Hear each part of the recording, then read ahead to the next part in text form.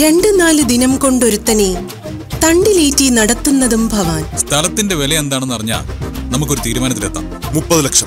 ഇത് ടോക്കൺ ആയിട്ട് വെച്ചോളൂ. നാളെ തന്നെ എഗ്രിമെന്റ് വെച്ച് അഡ്വാൻസ് തരാം. അശ്വതി ആഗ്രഹിച്ച ഉയരങ്ങൾ അശോകൻ കീഴടക്കുമ്പോഴും വിധി അവൾക്കായി കാത്തുവെച്ചത്.